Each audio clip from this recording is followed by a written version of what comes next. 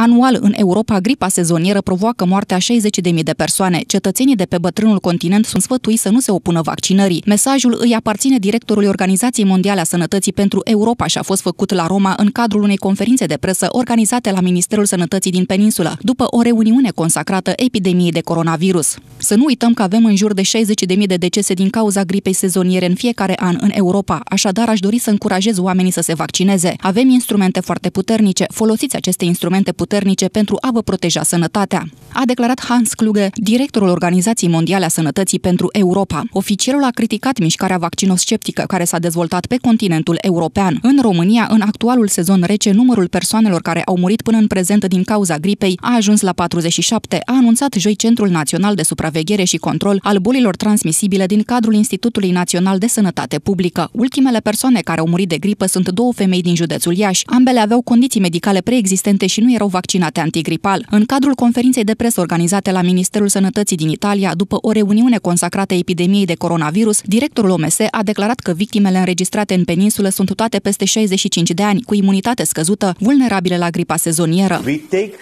the virus and the situation very seriously.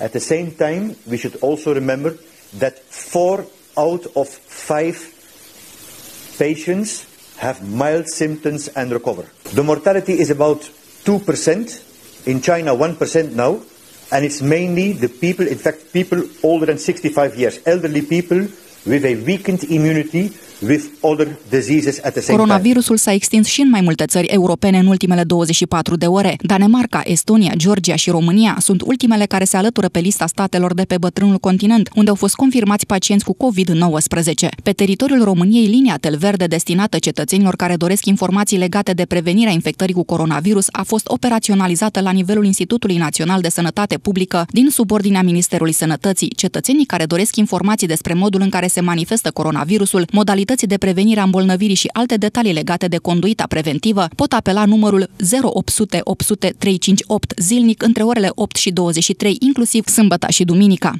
Reiterăm faptul că linia telefonică Tel Verde este strict pentru informarea cetățenilor și nu este un număr de urgență. În cazul în care sunt suspiciuni asupra unor persoane care ar fi contactat virusul, aceste situații trebuie anunțate la numărul unic de urgență 112. Subliniază grupul de comunicare strategică. În Italia, numărul cazurilor confirmate de infectare cu noul coronavirus a urcat la 528, inclusiv 14 decese și 40 de persoane care s-au recuperat în urma bolii.